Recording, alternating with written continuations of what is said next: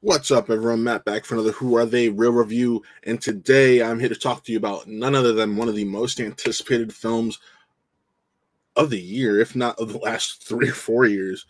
And that is Top Gun Maverick. Um, so I'll, I'll be frank. If you've seen me on the internet, the last month or so, I've been honest about my feelings about the original Top Gun. It took me seven attempts of trying to get it finished, starting starting it from the beginning seven times over because I hate doing the first time viewing in, in sex.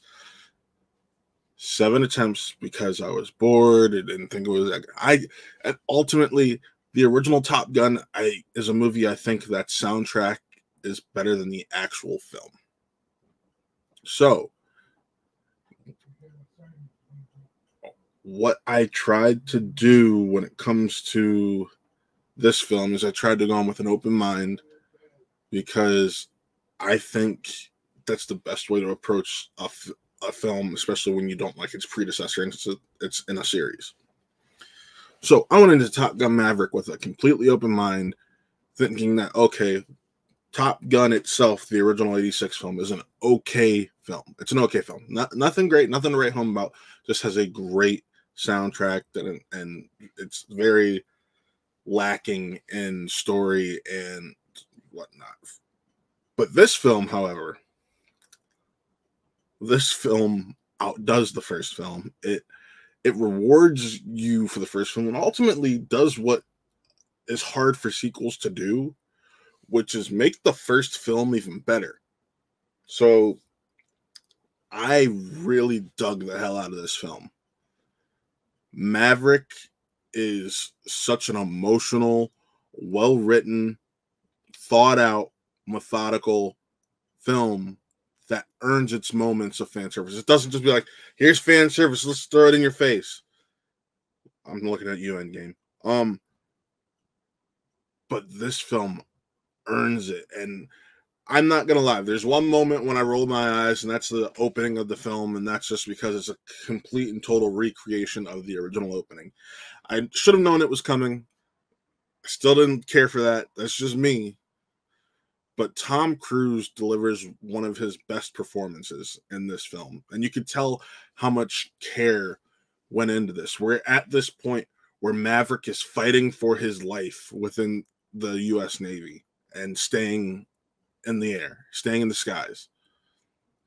And it's kind of a reflection of the first film in the best ways possible while also driving the story in a new and different direction that shows you that Mac that Maverick is still the guy. And I thought that was really cool. Uh, there are definitely nods to the original score and whether it be in actual songs or timings of other songs and when those other songs play but the cast in this is just stellar. Uh, one of the things I loved is that Miles Teller's Rooster. That's right, son of Goose, Rooster. Um, he looks like a spitting image of Goose, and it, they and the costume designers and whoever decided to go with that design, fantastic job. Just it's like, all right, how could we make Miles Teller look like Goose? Bam, and you're like, wow, there were there there's the moment he's actually like introduced as a character to us, not in photos, is a moment that just hits you in the feels, especially the way it's cut together. Uh and you're just like, damn, that's that's gotta hurt, Mav. Like it's so powerful and it triggers something, and it's just oh, it's great. Um, other standouts, of course, Miles Teller. Um, then you have Glen Powell and Monica Barbaro, uh, who, if you don't know her, I know her from the ABC comedy Splitting Up Together. She played Lisa Apple, and she does a great job providing some female power and spark to this. I loved that about her. Um, Jennifer Connelly is just fantastic. I mean, you can never go wrong with adding her to a film.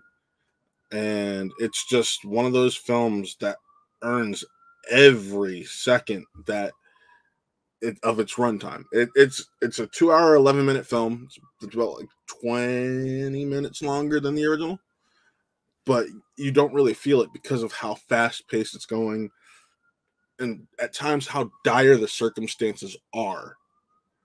And I think that was really important. Um, Val Kilmer, his him coming back as Ice. Uh, it's not it's not a spoiler. He's it's in the trailers. It's just oh my god, it was it's heartbreaking and beautiful. I just I I it like I said, it makes the original better. I I decided to rewatch the original shortly after it, and it was much more enjoyable knowing what came after. So, if I'm going to give this film a rating, my rating's a four out of five. I want to say Joseph Kosinski, who's done films like Tron Legacy and Oblivion, he did a fantastic job because this film could have been bad. Um, sequels like this, especially sequels that are coming out technically 36 years later, I'll give it a pass because it was supposed to come out in 2020.